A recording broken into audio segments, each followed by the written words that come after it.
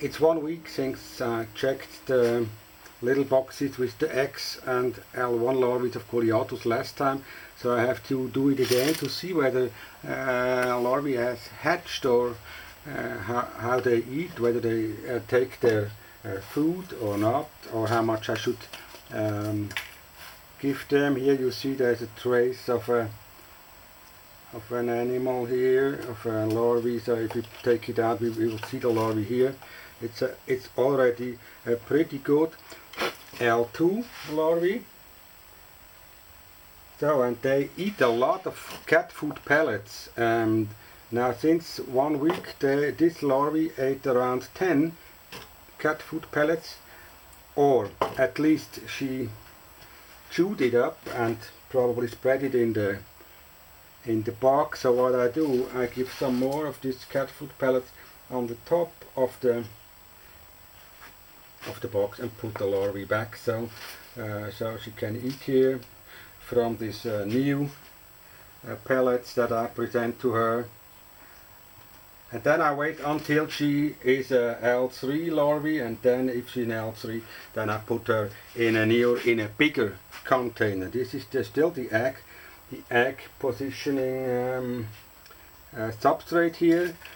So after about three to four weeks you should change it because then it's full of of uh, fecal pellets of the larvae and then it starts smelling bad so.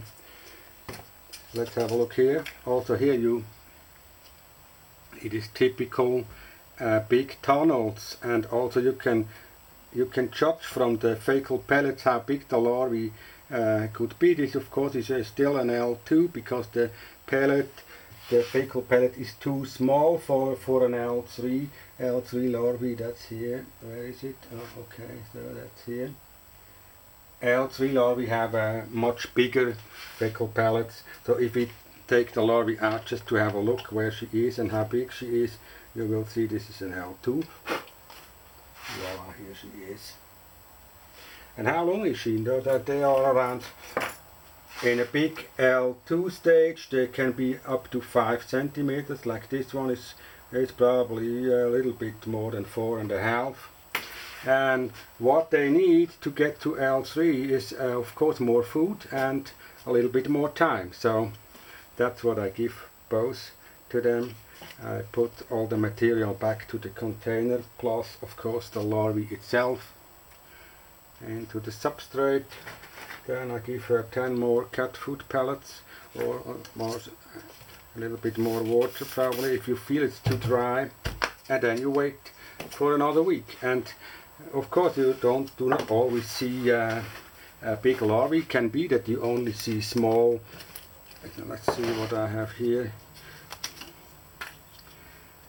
The small holes with uneaten pellets on the top. That means you can wait uh, some time till you see really prominent tunnels on the top. Just leave this as it is. Or here what's that? Seems to be a larvae that has eaten up a lot of pellets and spread them in the material here. And if you want you can give them a little bit more water and a little bit more food pellets. Of course to check all this it's good to have a good bookkeeping like here where you just write to every box uh, what kind of pellets or how many you put into the box and so on. So that I can check here is a G2 number 2 I go here I see I gave it uh, 9 pellets 17th of July. That's around one week ago so it chewed up uh, 9 pellets that's around 4 grams that's a lot of material to eat for such a small larvae in such a little time. So let's look what she did with the material. Now here she is. It's a pretty big L2 larvae and she's very active and wants to bite me of course because she doesn't like she doesn't like it when you take her out to the light. Even though they don't have eyes, they feel of course when they are exposed very clearly because they have this hair on the body and these are all uh, very sensitive little hairs where they know exactly where they are, whether in a substrate or in a wet substrate or in a dry one or whatever. So now look, this is over 5 centimeters, pretty long. Yeah, this is 6 centimeters long.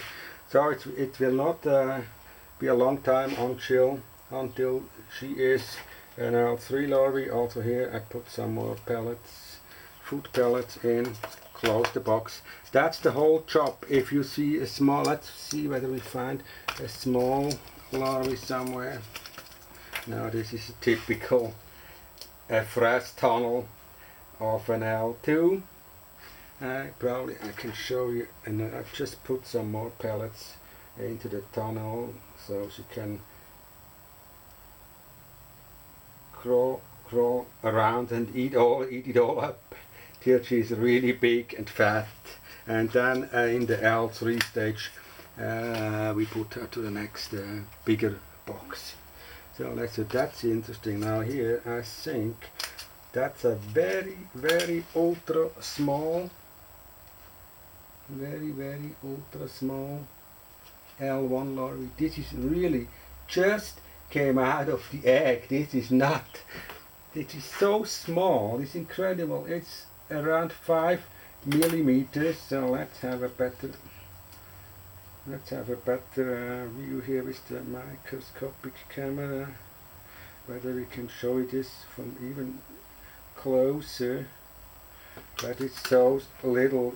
It's hard to make it make it give it a good sharpness here under this microscope that's going to be this one here probably and you see be beneath her these small white points wandering around uh, these are uh, little animals called Springschwänze in Germany. I don't know exactly the name in English, but I will find out um, and I tell you later. So look, this larvae just came up from the egg where it was laying a little bit deeper in the substrate and now the first thing that they do they come up and now I put here in one egg edge of the box I put a, a pellet. And here on the other side I put the cat food pellets. And then I probably you can add some more water on this side. Don't spray directly onto the larvae then I close it again and then we wait and then we work through all of this Also this takes pretty much of time if you want to do it really seriously and write everything into your bookkeeping papers.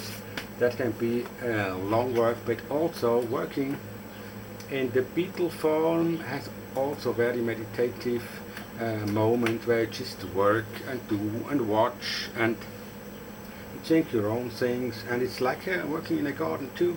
It can be very meditative and cool and the quiet and the nice time to be together with these uh, wonderful creatures of nature. Thank you for watching.